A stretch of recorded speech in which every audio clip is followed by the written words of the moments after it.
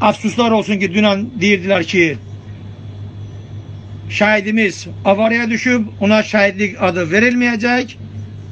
Bugün səhər ekspertiza tasdik elədi ki, şahidimiz avaraya düşməyib, şahidimizə güllə dəyib, şahid olub. Yenə də şahidimizə şahidlik adı verilmirdi. Kənd əhli şahidimizi götürmüştü. Şahidimiz birden avtobuzdaydı. Kalan bütün kendi ahli piyada